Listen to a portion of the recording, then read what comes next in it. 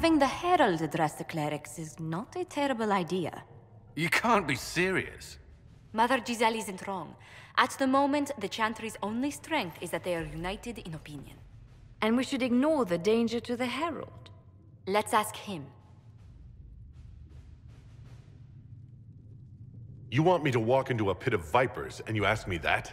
They're not vipers just because they like to hiss. I will go with him. Mother Giselle said she could provide us names. Use them. But why? This is nothing but a... What choice do we have, Leliana? Right now, we can't approach anyone for help with the breach. Use what influence we have to call the clerics together. Once they are ready, we will see this through